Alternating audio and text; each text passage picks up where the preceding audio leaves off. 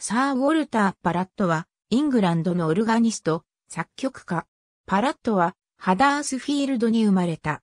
父がオルガニストであったので幼少期からパイプオルガンを演奏するようになり、まだ子供であった時期にオルガニストの職に就いた。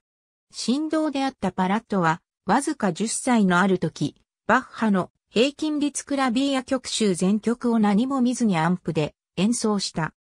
パラットは1854年から1861年にかけてジョン・ステーナーの後を継いで故郷の町のセントポール教会のオルガニストを務め、1872年に就任したオックスフォード大学のモードリンカレッジのオルガニストには、その後10年にわたって在職した。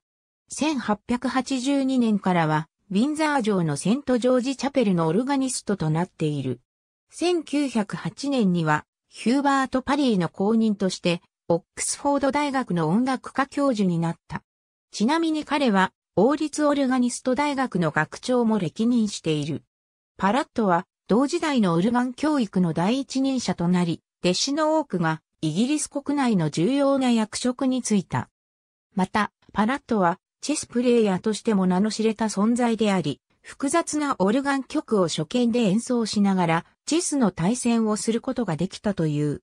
彼は、オックスフォード大学のチェスクラブの部長を数ヶ月務め、2年間に渡ってケンブリッジ大学との対抗戦に出場する8人の選抜選手のキャプテンであった。パラットは1892年にナイトに上されると、1893年からはビクトリア女王の音楽師範に任命され、続いてエドワード7世、ジョージ5世にも音楽の指導を行った。